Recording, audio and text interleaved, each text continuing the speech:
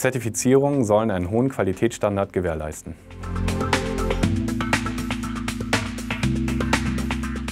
Zertifizierungen in der Notaufnahme bedeuten, dass Abläufe, Prozesse und personelle Strukturen ähm, einer gewissen Qualität folgend durch eine Fachgesellschaft überprüft und am Ende zertifiziert werden.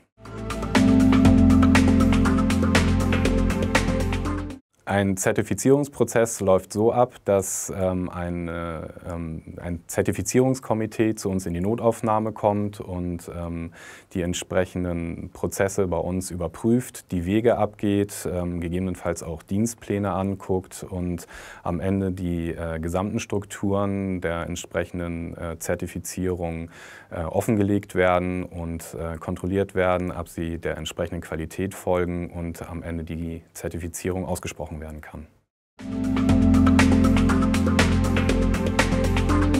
In St. Georg haben wir eine Zertifizierung für die Stroke Unit ähm, und für die Chest Pain Unit. Das bedeutet, dass wir entsprechende Schlaganfallpatienten und ähm, Patienten mit Brustschmerzen, also den Verdacht oder am Ende vielleicht auch Herzinfarkt bei uns nach den äh, entsprechenden Qualitätskriterien ähm, zügig und zielgerichtet behandeln können. Und ebenfalls sicherlich auch sehr wichtig ähm, ist die äh, Zertifizierung für das überregionale Traumazentrum, dass wir schwer und schwerstverletzte bei uns äh, in den Schockräumen durch die Kollegen der Unfallchirurgie und allen äh, behandelnden Fachabteilungen ähm, zügig und zielgerichtet diagnostizieren, behandeln, gegebenenfalls einer weiteren OP und vor allem im weiteren Verlauf auch einer weiteren Therapie, gegebenenfalls auch ähm, einer Rehabilitation zuführen können.